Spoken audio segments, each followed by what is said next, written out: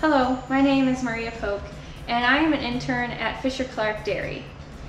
So after a cow calves, she's taken to the parlor, and um, we are given back a bucket with colostrum in it. After we get the colostrum, we test it to see the value of the colostrum. We use a Brix refractometer to measure the value. For um, heifers and limmel crosses, we want the colostrum to be 22% of the Brix reading. Um, anything below that we will use for the bulls. Once we know the value of the colostrum, we make a label for the bucket so we know the value of the colostrum and um, how old it is. So we put colostrum, the date, and the value, which it was 22.9. So this one could be fed to a heifer, uh, but um, if there is a higher value um, in the fridge, then that's the one we'll use first.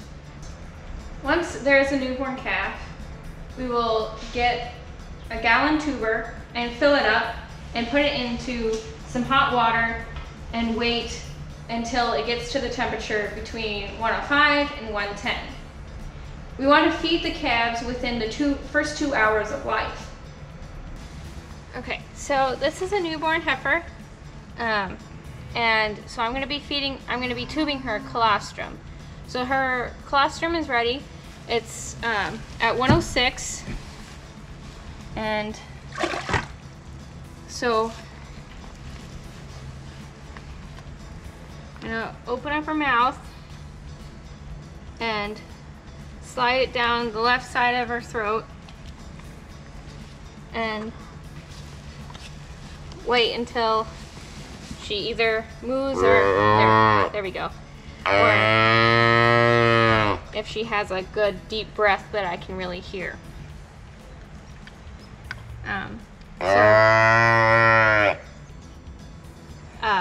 she's gonna start kind of chewing on it and that also lets me know that also lets me know that it's down the right uh, pipe.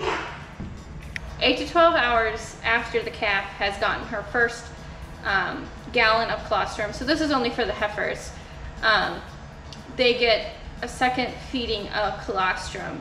So we fill the bottle up and once again the same concept applies.